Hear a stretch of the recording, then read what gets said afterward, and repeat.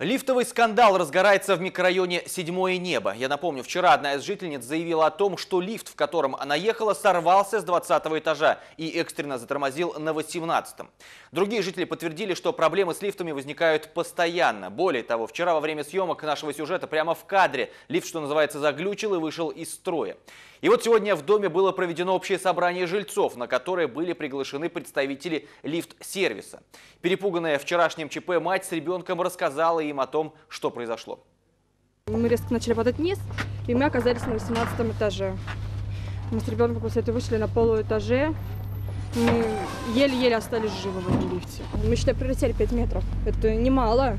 Возможно, был сбой электроники, то есть факта застревания как такового или остановки лифта на компьютере, на диспетчерском пульте вообще не отобразилось. То есть ничего этого не произошло. Через сколько должен был сработать ловитель? Ловитель, в данном случае ловитель вообще не сработал. Ну, то есть имеется в виду, у вас... То есть мы должны были упасть Вы- до первого этажа? Вы не падали. разбиться? Вы не падали. Как вы можете объяснить факт того, что мы с 20 этажа до 18 долетели за пару секунд? Потому что я даже успела только смотреть 20 этаж, раз табло сразу 18 Значит, если бы это случилось, лифт сел бы на ловителя. скорости было Снять лифт с ловителя должны большое. два электромеханика. Как вы говорите, вы летели, если бы вы летели, ловители те же сработали, вы бы остались в лифте, никуда бы не делись. Приехал бы аварийная служба, и тогда уже вас доставал. И как вы говорите, что на полэтажа лифт остановился, открыл двери. А, Технически, Да, это- технически невозможно на полэтажа лифт двери просто не откроет. Но это, мы же так вышли, значит, это возможно, Нет, какой произошел это, сбой в это, этой это ситуации. просто невозможно, чисто технически. Это у вас было возможно, потому что я с ребенком ходила. Вот с такого расстояния я перепрыгивала на пол.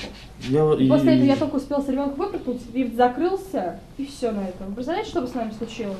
Если в этот момент, когда мы вылезали, двери бы захлопнулись. Они захлопнулись не слабо. Как мне вот дальше ездить на лифтах? Я вот на грузовых теперь не езжу, я боюсь. Чтобы садиться в этот лифт, я каждый раз крещусь. Вы представляете, что можно это спо- такое? Можно очень спокойно ездить, лифты безопасные. То есть в нашем случае лифты ис- исправны, то есть никак не влияет на безопасную работу. Ну, то есть все безопасно. И как бы переживать вам не стоит. Ну, девушки, я не думаю, что врет.